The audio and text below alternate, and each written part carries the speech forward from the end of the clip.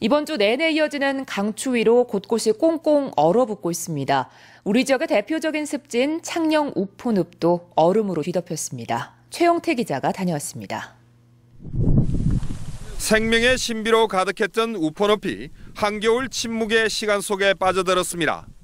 몰아치는 동장군의 기세에 며칠 전부터 가장자리가 얼기 시작하더니 현재 늪의 70% 정도가 얼음으로 뒤덮였습니다. 제가 서 있을 정도로 얼음이 꽁꽁 얼었습니다. 우포늪이 이렇게 꽁꽁 얼어붙은 것은 올겨울 들어서 지금이 처음입니다. 늪이 지금 거의가 다 얼었습니다. 한 며칠 전부터 한파가 와가지고 거의 다 얼어가지고 이제 철새들이 지금 이제 먹이 활동도 제대로 못 하고 있습니다.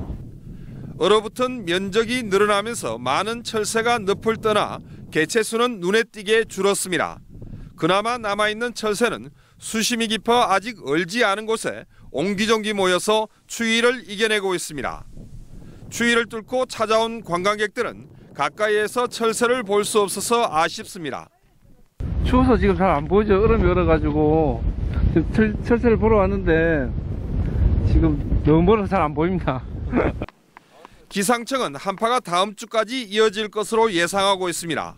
이 때문에 얼음 왕국으로 변한 우포늪의 겨울은 더 깊어질 전망입니다.